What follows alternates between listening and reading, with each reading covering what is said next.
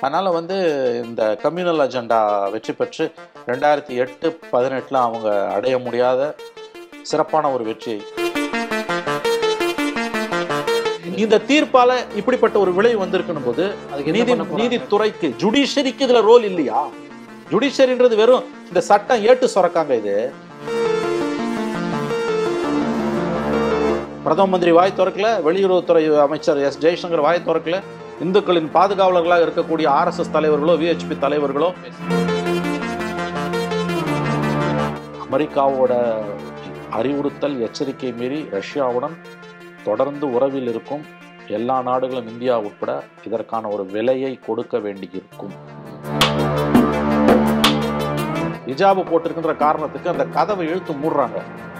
தனிப்பட்ட முறையில் என்னை வந்து ரொம்ப பாதித்த நெஞ்சை பிழிய வைத்த சம்பவங்களில் ஒன்று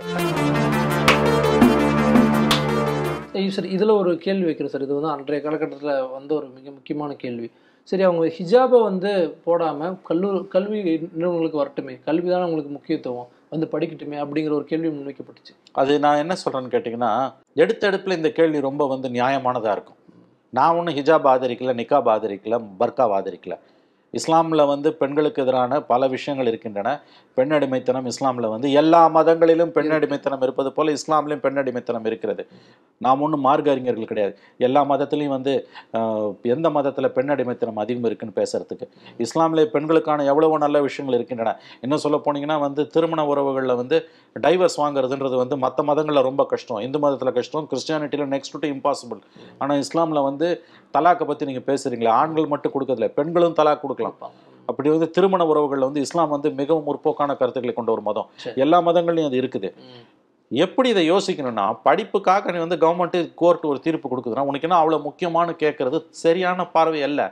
ஒரு அரசாங்கம் எப்படி யோசிக்கணும்னா ஒரு சமூகம் எப்படி யோசிக்கணும்னா எல்லா மதங்கள்லையும் பழமைவாதம் இருக்குது. அந்த மதங்களில் இருக்க பழமைவாதம் நீங்கி அவர்கள் வந்து மேம்பட்டவர்களாக வரணும் வர வேண்டும் என்பது எல்லோருடைய முற்போக்காளர்களுடைய மக்கள் நலனின் அக்கறை உள்ளவர்களுடைய எல்லோருடைய ஆசையும். ஆனால் அது காலப்போக்கில் வரணும். அது வர வரைக்கும் நீ என்ன பண்ணணும்? ஹிஜாபு போட்டால் உனக்கு வந்து படிப்பு கிடைக்கும். ஹிஜாபு போடலைன்னா படிப்பு கிடைக்காது. இதில் கவர்மெண்ட்டோட ரோல் என்னங்க? அல்லது ஜுடிஷியரியோட ரோல் என்ன? ஜுடிஷியரின்றது இந்த சட்டத்தை விளக்குறது மட்டும் இல்லைங்க. It should impart justice not only நீதி மட்டும் இல்லை அது வந்து சட்டத்தில் சொல்லியிருக்கிறத மட்டும் இல்லை சட்டத்தை தாண்டி நீதியையும் அது சொல்லணும். ஏன் டான்சி வழக்கில் ஒரு தீர்ப்பு கொடுத்தாங்களே அது அற்புதமான தீர்ப்பு. நீங்கள் செஞ்சது தப்பு தான்.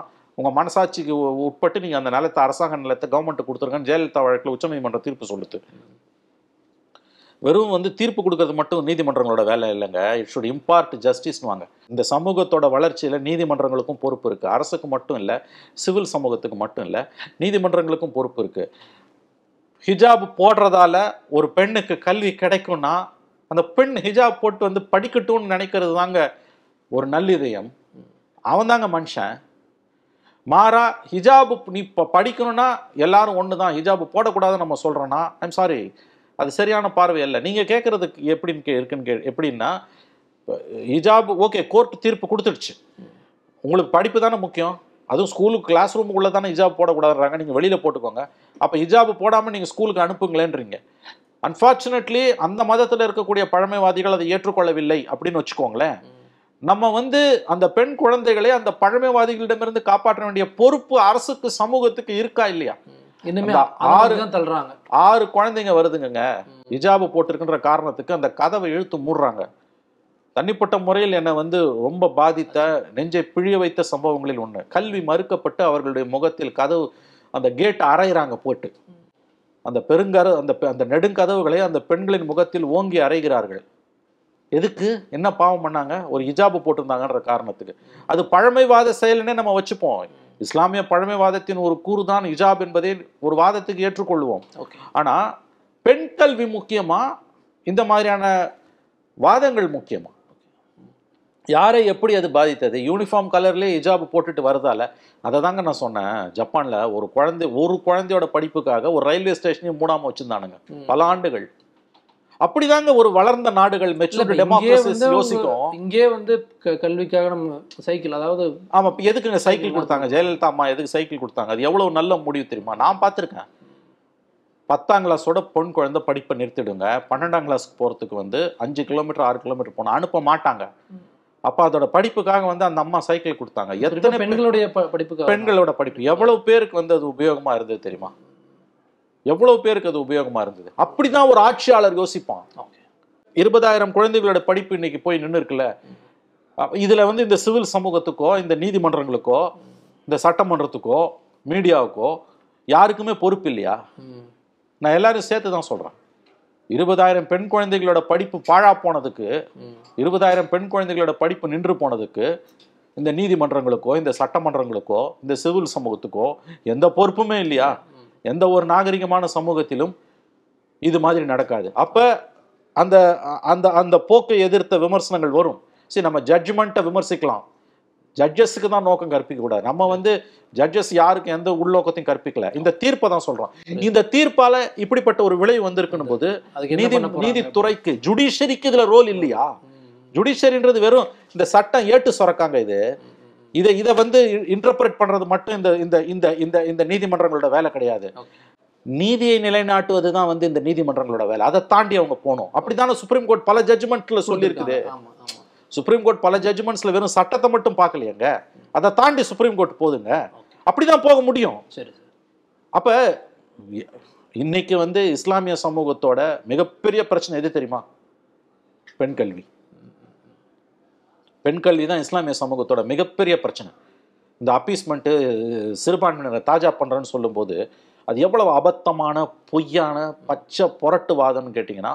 கல்வியிலையும் வேலை வாய்ப்பிலும் இஸ்லாமியர்கள் சிறுபான்மையினர் குறிப்பாக இஸ்லாமியரோட பங்களிப்பு எவ்வளோன்னு கேட்டிங்கன்னா ஜீரோ ஜீரோ ஜீரோ ஒரு பர்சன்ட் தான் இருக்கும். அதில் பெண் குழந்தைகளோட பங்களிப்பு பெண் குழந்தைகளோட கல்வியின்மை.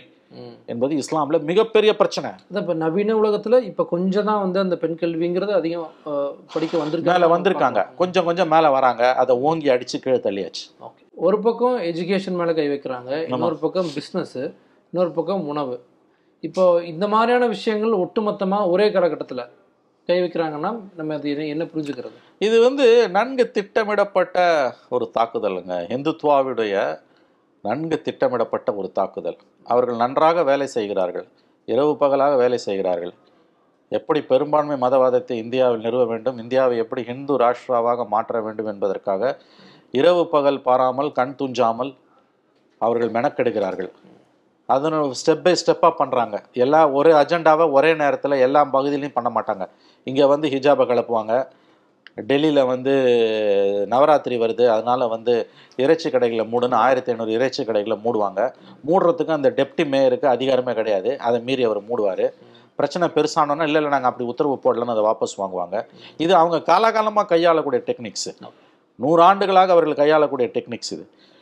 ஒரு பக்கம் கல்வியில் கையை வைக்க வேண்டியது ஒரு பக்கம் அவனோட தொழில் நடத்த விடாமல் பண்ண வேண்டியது. இப்போ வந்து ட்ரேடர்ஸை வந்து நீ வந்து கடையை காலி பண்ணுன்றதும் ஹலால் மீட்டை வந்து நாங்கள் புறக்கணிப்போம்னு சொல்கிறது என்னன்னா பொருளாதார தீண்டாமை. இஸ்லாமியர்களை வந்து பொருளாதார ரீதியாக கொன்றொழிப்பது. மூணாவது வந்து உணவில் கையை வைக்கிறது. இதெல்லாம் வந்து நன்கு திட்டமிடப்பட்ட ஒரு செயல் திட்டத்தின் வடிவங்கள். இதை இதை வந்து நீங்கள் வந்து ரொம்ப ரெண்டாயிரத்தி இருபத்தி மூணு கர்நாடகா எலெக்ஷனுக்காக கர்நாடகாவில் பண்ணுறாங்க ஆனால் அதோட நிற்காது அது. அதாவது அது எலெக்ஷன்ங்கிறத தாண்டி அது எ- எவ்வளவு இன்டெப்தா அது ஆமா Root போவோம் இப்போ ரூட். காஸ் வரும். அங்க ஜெயிச்சிட்டாங்கன்னா தேவ டேஸ்டட் பிளட்னு வாங்க ஆங்கிலத்துல. அது ஜெயிக்குமா ஜெயிக்காதானா? ஜெயிக்கும் அப்படின்றது தான் என்னுடைய கருத்தும். இந்த மதவாதம் கர்நாடகாவில் இதுவரையில் வெற்றி பெறாத பெரும்பான்மை மதவாதம் ரெண்டாயிரத்தி இருபத்தி மூன்றில் வெற்றி பெறலாம். இதுவரையில் தனி மெஜாரிட்டி கிடைக்காமல் திண்டாடிய பாஜக இந்த முறை ரெண்டாயிரத்தி இருபத்தி மூணில் தனி மெஜாரிட்டியுடன் அங்கு ஆட்சியை அமோகமாக பிடிக்கலாம். ஏன்னா மக்களே வந்து இன்னைக்கு கம்யூனலாக மாறிட்டு இருக்காங்க அவங்க தெளிவாக ஒன்றை புரிஞ்சுக்கிட்டாங்க. இந்து மெஜாரிட்டின்றது வந்து எயிட்டி பர்சன்ட் மேலே ஹிந்துஸ் பாப்புலேஷன் தான் அதிகம். அதில் ஓட்டிங் பாப்புலேஷனில் ஃபிஃப்டி பர்சன்ட் அவங்களுக்கு ஓட்டு போட்டாலே அவங்களுக்கு போதும். அது வந்து எலக்ட்ரல் அரித்மேட்டிக்ஸில் அவங்களுக்கு வெற்றி கனியை பறித்து அவர்கள் மடியில் தந்து விடுகிறது. ஓகே. மாறாக சிறுபான்மையின வாக்குகளும் மதச்சார்பற்றவர்களின் வாக்குகளும் செதறுண்டு போவதால் அவர்களுக்கு அதை பற்றி கவலை இல்லை. கோயில் விழாக்கள்ன்றது இஸ்லாமியர்கள் வந்து வெளியனுப்பப்பட்டதன் தொடர்ச்சியா? பிஜேபியுடைய ஒரு எம்எல்சி ஹெச் விஸ்வநாத். ஆமா. அவர் பேசுறாரு அவர். இந்த மாதிரி பண்ணீங்கன்னா வெளிநாடுகள் இருக்கக்கூடிய இந்தியர்கள் வந்து அதாவது இஸ்லாமிய நாடுகள் இருக்கக்கூடிய இந்தியர்கள் வந்து இப்படி திருப்பி அனுப்பப்பட்டா நீங்க என்ன பண்ணுவீங்கன்ட்டு ஒரு கேள்வி எழுப்புறாரு. யாருமே பிஜேபியில் பேசலைங்கும் போது ஒரு ஒரு வாய்ஸ் வந்து அங்கே வருது. அது ரொம்ப நியாயமான வயசு பிஜேபியிலும் வந்து மனசாட்சியுடன் யோசிக்கக்கூடியவர்கள். சர்வதேச பார்வை உள்ளவர்கள் சிலர் இருக்கிறார்கள் என்பதை இத்தகைய பேச்சுகள் நமக்கு உணர்த்துகின்றன. இது வரவேற்கத்தக்க ஒரு பேச்சு. ஆண்டுகளும் நாற்பது ஆண்டு காலம் காங்கிரஸ்ல இருந்தவர் நம்ம இருக்கட்டும். அவர் காங்கிரஸ்ல நாற்பது வருஷம் இருந்தாரு. அடுத்த எலெக்ஷன்ல அவர் ஜேடிஎஸ்க்கு போனாரு. அடுத்த எலெக்ஷன்ல அவர் பிஜேபியில சீட்டு கொடுக்க மாட்டானுங்க. அதனால தான் அவர் இப்படிலாம் பேசுறாருன்ற கருத்து என் காதுக்கு வந்தது. அப்படியே இருந்தாலும் அவர் என்ன அது சொன்னது உண்மைதானே? புத்தி உள்ளவன் உங்க கட்சியில ஒரு நாலு பேர் இருக்கான். நீங்கள் அதை கேட்க மாட்டீங்க. மாறா அவங்க ஏழு தலைமுறையை தோண்டி திட்டுவீங்க. அவன் அப்படி இருந்தான் இப்படி இருந்தான். அவங்க தாத்தா காங்கிரஸில் இருந்தார். அவங்க தாத்தாக்கு அப்பா பிரிட்டிஷ்காரனுக்கு கைக்குள்ளியாக இருந்தார். அவங்க அப்பா வந்து இப்போ இந்த பக்கம் வந்து பிஜேபிக்கு எதிராக செயல்பட்டார். அப்படின்லாம் சொல்லி நீங்கள் வந்து உங்களுடைய ஆசைகளை தீர்த்து கொள்வீர்கள் என்றால் தாராளமாக சீர் தீர்த்து கொள்ளலாம். எப்பொருள் யார் யார் வாய் கேட்பினும் அப்பொருள் மெய்ப்பொருள் காண்பது அறிவு. அவர் அடுத்த எலெக்ஷனில் விஸ்வநாத்துக்கு சீட்டு கிடையாதுன்னு சொல்கிறாங்க அதனால தான் அவர் இப்படிலாம் பேசுகிறாருன்றாங்க ஒரு வாதத்துக்கு வச்சுப்போமே. அவர் என்ன சொல்கிறாரு அதை கேளுங்களேன். மாறானுங்க அவருக்கு தான் முத்திர குத்துவனா குதிருப்போங்க ஓகே. நாங்கள் வந்து கேட்க மாட்டோம் யார் சொல்கிறதையும் கேட்க மாட்டோம்னா செய்யுங்க. ஆனால் இதெல்லாம் நிரந்தர வெற்றியை உங்களுக்கு கொடுக்காது. மறந்துடாதீங்க பாகிஸ்தானையும் இலங்கையும் பார்த்து இந்தியாவுக்கு புத்தி வரணும். ஓகே. இல்லைன்னா அவங்க நிலைமை தான் நமக்கு. நான் இன்னொன்று சொல்கிறேன் இந்த விஸ்வநாத் சொன்னது அவர் மட்டும் சொல்லலை. போன அக்டோபர் மாதம் கரெக்டாக ஆறு மாதத்துக்கு முன்னால் பங்களாதேஷில் உங்களுக்கு நினைவு இருக்கும் துர்கா பூஜை அப்போ வந்து இந்து கோயில்கள் தொடர்ந்து தாக்கப்பட்டன. கடந்த பல ஆண்டுகளாக தாக்கப்படுகின்றன. இந்த முறை அக்டோபர் மாதம் பத்து இந்து கோயில்கள் அடித்து நொறுக்கப்பட்டன. ஏற்பட்ட கலவரத்தில் பத்து இந்துக்கள் பத்து பன்னெண்டு இந்துக்கள் கொல்லப்பட்டார்கள் துப்பாக்கி சூட்டில் இந்த ஃபிகர்ஸ் கொஞ்சம் கூட குறையா இருக்கலாம் நான் சொல்கிறது அப்போ வந்து இதுவரை இல்லாத அளவுக்கு டாக்காவில் டாக்காவோட வெளிப்புறத்தை தலைநகர் டாக்காவுக்கு வெளியில் ஒரு ஹிந்து கோயிலில் ஹிந்து பக்தர்கள் எல்லாம் அமர்ந்திருக்காங்க. அங்கே வந்து இஸ்லாமியர்களும் அவங்களோட அமர்ந்து இருக்காங்க. இந்துக்களுக்கு ஆதரவாக இந்த கோயில்கள் தகர்க்கப்படுவது தாக்கப்படுவதை கண்டித்து அப்போ வந்து வீடியோ கான்ஃபரன்சிங் மூலமாக பிரதமர் ஹஷ் ஷேக் ஹசீனா தன்னுடைய மாளிகையிலிருந்து தலைநகர் டாக்காவிலிருந்து டாக்காவுக்கு வெளியில் டாக்காவுக்கு வெளியில் நூற்றம்பது கிலோமீட்டர் தொலைவில் இருக்கக்கூடிய ஒரு மாவட்டத்தில் இந்த கலவரம். வீடியோ கான்ஃபரன்சிங்கில் அந்த அம்மா பேசுகிறாங்க யார்? பிரதமர் ஷேக் ஹசீனா பேசுகிறாங்க இது வரைக்கும் அப்படி பேசுனதில்ல. அண்ணன் அப்படி பேசுனாங்க. என்ன தெரியுமா? சிறுபான்மையின மக்களை காப்பதில் என்னுடைய அரசு உறுதியாக இருக்கிறது. ம். சிறுபான்மையினரின் வழிபாட்டு தலங்களை காப்பதில் என்னுடைய அரசு உறுதியாக இருக்கிறது. இறந்து போன உயிர்களுக்காக நான் பரிதாபப்படுகிறேன். அவர்களுக்கான எல்லா உதவிகளையும் அரசு செய்யும். எதிர்காலத்தில் இது போன்ற தாக்குதல்கள் நடக்காமல் இருப்பதற்கு அரசும் தன்னார்வ குழுக்களும் சிவில் சமூகத்துடன் இணைந்து சிறுபான்மையின மக்களாகிய இந்துக்களை நாங்கள் காப்பாற்றுவோம். சொல்லிட்டு அடுத்த அந்த அம்மா சொல்கிறாங்க ஆனால் அதே நேரத்தில் சம்பந்தப்பட்டவர்கள் ஒன்றை புரிந்து கொள்ள வேண்டும். வங்கதேசத்துக்கு வெளியே இருக்கக்கூடிய இஸ்லாமியர்கள் சிறுபான்மையினராக இருக்கக்கூடிய நாடுகளில் அவர்கள் தாக்கப்பட்டால் அதனுடைய எதிரொலி இங்கே இருப்பதை யாரும் தடு தவிர்க்க முடியாது தடுக்க முடியாது ஓ இது பங்களாதேஷ் பிரைம் மினிஸ்டர் பேசின பேச்சுங்க. இதுவரை அந்த அம்மா அப்படி பேசுனது கிடையாது. இதை இந்தியன் கவர்மெண்ட்டும் பிஜேபியும் இந்திய ஆளும் வர்க்கமும் அடக்கி வாசிச்சாங்க. மாறாக இந்திய அரசு என்ன சொன்னது தெரியுமா இந்திய அரசின் வெளியுறவுத்துறை செயலாளர் எங்களுக்கு முழு அளவில் வங் வங்கதேச அரசு இந்துக்களை பாது பாதுகாப்பதில் எடுக்கக்கூடிய நடவடிக்கைகளில் எங்களுக்கு முழு திருப்தி இருக்கிறது. நாங்கள் அதில் முழுவதும் திருப்தி அடைகிறோம் இதை சொன்னவர் இந்த மாதம் ஓய்வு பெறக்கூடிய இந்தியன் ஃபாரின் செக்ரட்டரி ஷிங்ராலா. அவங்க ஒரு மெசேஜ் சொல்றாங்க அது ஏங்க அங்க இருக்க சிறுபான்மையினரும் அங்க இருக்க பங்களாதேஷ் முஸ்லிம்ஸ் சொல்றாங்கங்க அரசாங்கம் கடமை தவறிடுச்சு சிறுபான்மையினர் இந்துக்களை காப்பதை தவறிவிட்டது. அப்படின்னு அங்க இருக்கக்கூடிய இஸ்லாமியர்களும் இந்துக்களும் சொல்றாங்கங்க ம். அந்த அம்மா சொல்றாங்க நீ இந்தியாவில் ஆட்சின்னா இங்க உத வாங்குறது இந்துக்களுக்கு மீது தாக்குதல் நடப்பது தவிர்க்க முடியாதுன்னு ஓப்பனா பிரைம் மினிஸ்டர் சொல்றாங்க. ம். கூச்சா நாச்சமே இல்லாம வெக்கமே இல்லாம அவர்கள் எடுக்கக்கூடிய நடவடிக்கைகள் எங்களுக்கு முழு திருப்தி இருக்குது. முழு பூசணிக்காவை சோத்துல போட்டு மறைச்சாங்க. டினையல் மோடுன்னு அதான். ஓகே பிரதம மந்திரி வாய் திறக்கல வெளியுறவுத்துறை அமைச்சர் எஸ். ஜெய்சங்கர் வாய் திறக்கல இந்துக்களின் பாதுகாவலர்களாக இருக்கக்கூடிய ஆர்எஸ்எஸ் தலைவர்களோ விஹெச்பி தலைவர்களோ பேசல. எவருமே வாய் திறக்கவில்லை. மாறாக பாராட்டு மழையைத்தான் பொழிந்தார்கள். அப்ப இதுதான் உங்க நிலைமை. வெளிநாட்டுல இருக்கக்கூடிய இந்துக்களை நீங்க எப்படி பாதுகாக்கிறீங்கன்றது இதுதான் லட்சணம். நீங்க கேட்டீங்களே இது வந்து விஸ்வநாத் சொன்னது வந்து வயல் நாடுகளில் உள்ள இந்துக்கள் தாக்கப்பட்டா என்ன நடக்கும்னு? இது ஏற்கனவே நடந்துடுச்சு. அது இவங்க பதில் இதுதான். இவங்களால ஒரு இந்துவை கூட காப்பாற்ற முடியாது. மறந்துடாதீங்க. ஓகே. அதுக்கு உதாரணம் தான் பங்களாதேஷ். பங்களாதேஷ் ஒரு குட்டி நாடு. இந்தியா இல்லைன்னா அந்த நாடே இல்லை. இன்னைக்கு அந்த நாட்டோட பிரதம மந்திரி உங்களை ஓப்பனாக சேலஞ்ச் பண்றாங்க. ஓகே. உன் நாட்டில் நீ முஸ்லிம்ஸ் அடிச்சுனா என் நாட்டில் அதனோட எக்கோ எதிரொலி இருக்கும். இருக்கும். தவிர்க்க முடியாதது தடுக்க முடியாதுன்னு அந்த அம்மா பேசுறாங்க. எப்பவுமே வந்து ஆர்எஸ்எஸ் தான் நீங்க மென்ஷன் பண்ணி சொல்லுவீங்க. அரசுடைய கோர் அஜெண்டா அடிப்படையில தான் வந்து பிஜேபி செயல்படும் அப்படின்ட்டு. ஆமா அது உண்மைதான். இதுல வந்து அரசுடைய ரோல் என்ன? ஏங்க இது வந்து உள்ளங்கை புண்ணுக்கு கண்ணாடி தேவையில்லைங்க. இதெல்லாம் செயல்படுத்துறது அவங்கங்க. ஏன்னா விஹெச்பி ஒரு பக்கம் வருதுங்கிறது நான் செய்தியில் சார் பார்க்குறேன் விஹெச்பி ஒரு பக்கம் வருது ஃபுட் சோல்ஜர்ஸா ஒருத்தன் இருப்பாங்க. கீழே போய் கடையை உடைக்கிறது கொளுத்துறதுக்கு ஒருத்தன் வேலை. அவன் டிவிஷன் ஆஃப் லேபர் அவன் அதை செய்வான்.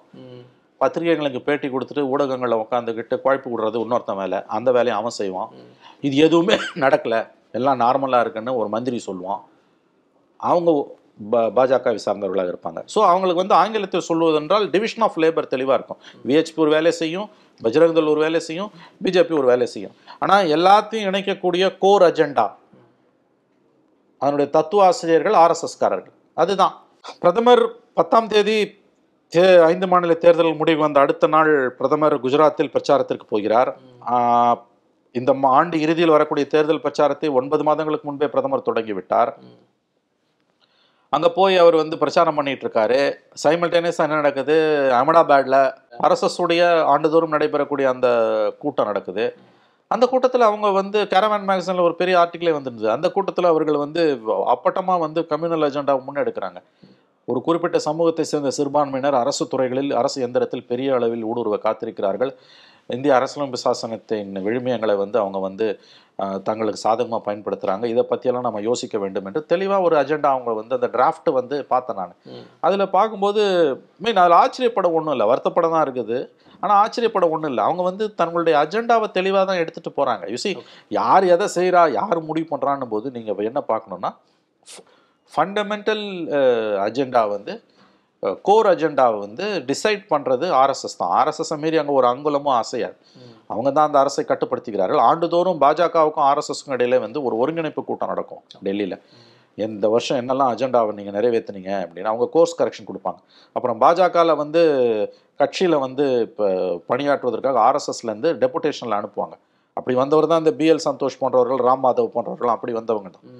ஆகவே வந்து அவங்க தான் வந்து தாய் ஸ்தாபனம். அவர்கள் தான் எல்லாவற்றையும் தீர்மானிக்கிறார்கள். அதனுடைய விளைவு தான் இன்னைக்கு வந்து இங்கே வந்து நிற்குது ஓகே. இவ்வளோ விஷயங்கள் நம்ம பேசியிருக்கோம். எலெக்ஷன் வந்து ரெண்டாயிரத்தி இருபத்தி மூணு அன்ற அந்த காலகட்டத்தில் வரப்போகுது. மிட்டில் வரப்போகுது. எப்படி இருக்குன்னு நீங்கள் எதிர்பார்க்குறீங்க? ஒரு பக்கம் காங்கிரஸ் வந்து காங்கிரஸும் வந்து ராகுல் காந்தி வந்து ஃபீல்டில் இறங்கிட்டாருங்க நம்ம பார்க்க வேண்டியிருக்கு. அமித்ஷா வந்து அதே இரண்டு நாள் காலகட்டத்தில் அங்கே ரெண்டு நாள் ப்ரோக்ராமில் இருந்திருந்தார். டிகே சிவகுமார் தான் ஒரு முக்கியமான ஒரு காங்கிரஸ் தலைவரும் கூட அங்கே. எப்படி இருக்குன்னு நினைக்கிறீங்க இந்த இந்த ஒரு எலெக்ஷன் இது ரொம்ப ரொம்ப ரொம்ப முன்னாடியே பேசுகிறேன் எலெக்ஷன் பற்றி பட் எப்படி இருக்கும்? இவ்வளோ பிரச்சனை நடக்கும்போது. இல்லை அது குறித்து என்னால் எதுவும் சொல்ல முடியவில்லை. என்னால் நான் எதுவும் சொல்ல விரும்பவில்லை. இவ்வளோத்தையும் சொல்லிட்டு பிஜேபி அங்கே தோற்றுணும்லாம் நான் ஒருபோதும் சொல்ல மாட்டேன். இன்னும் சொல்ல போனால் இவ்வளோத்தையும் செய்கிறதால நம்ம பேசணும்ல இந்த கம்யூனல் அஜெண்டாவை அப்பட்டமான இந்த மதவாத அரசியலை முன்னெடுப்பதன் மூலமாக ரெண்டாயிரத்தி எட்டுலேயும் பதினெட்டுலேயும் தனிப்பெரும்பான்மையை அடைய முடியாத பாஜக. இந்த முறை ரெண்டாயிரத்தி இருபத்தி மூணு பிப்ரவரி தேர்தலில் தனி பெரும்பான்மையை பெற்று ஆட்சியில் அமரலாம். அதற்கான வாய்ப்புகள் இருக்கின்றன. அப்படித்தான் நான் பார்க்கிறேன். அதை தாண்டி இந்த வரக்கூடிய தேர்தலை பற்றி நான் சொல்றதுக்கு எதுவும் இல்லை. காலகட்டங்கள் இருந்தாலும் நம்ம ப்ரிடிக்ட் பண்ணுறதுங்கிறது ரொம்ப ப்ரெடிக்டே பண்ண முடியாது. அப்படி ப்ரெடிக்ட் பண்ணணும்னா ஒன்றை தான் ப்ரெடிக்ட் பண்ணணும். மதவாத அரசியல் வெற்றி பெறும். ஏன்னா மக்களே போல்வர் கைவர். இது வந்து எடுபடுது. நல்லா எடுபடுது.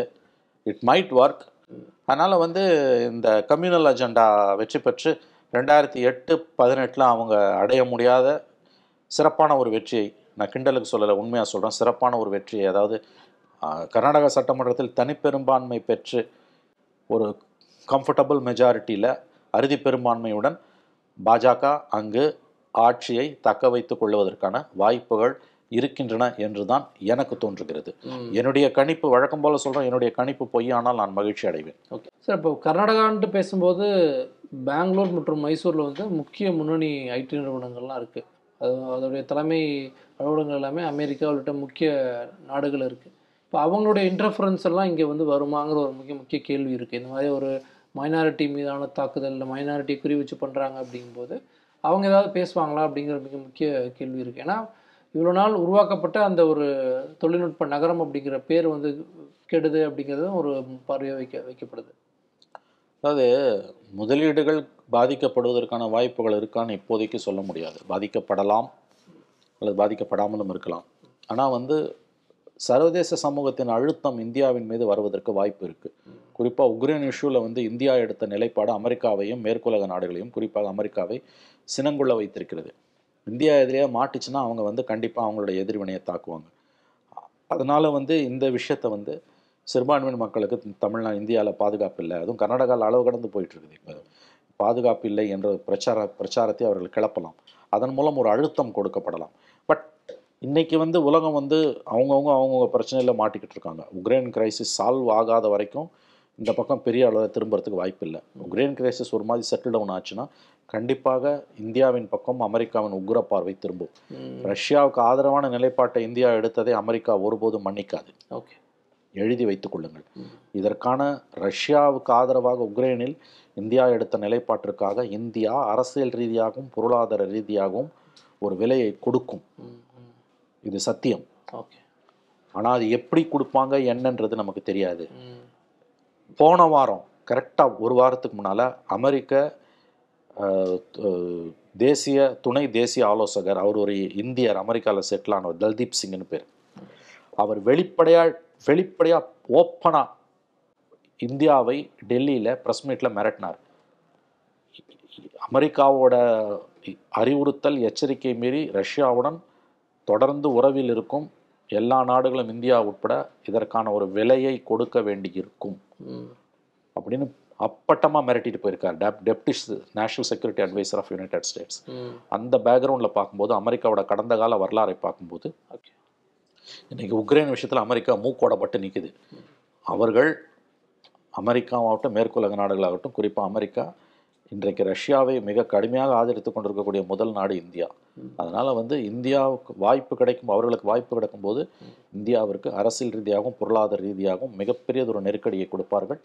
கர்நாடக விவகாரம் அந்த கிளாசிஃபிகேஷனுக்குள்ளே தான் வருதுன்னு நான் நம்புகிறேன் ஆகவே உக்ரைன் விஷயத்தில் இந்தியா எடுத்த ஸ்டாண்டுக்கான ஒரு விலையை இந்தியா. கொடுக்க வேண்டி இருக்கும்.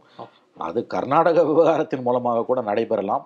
அப்படி நடந்தால் ஆச்சரியம். பார்ப்போம் சார் பல்வேறு விஷயங்கள் நம்ம பேசணும். ஹிஜாப்ல தொடங்கி குறிப்பிட்ட ஏழு எட்டு விவகாரங்கள் வந்து கர்நாடகாவில் மிக முக்கிய பிரச்சனையை வந்து உண்டாக்கியிருக்கு அப்படின்ட்டு.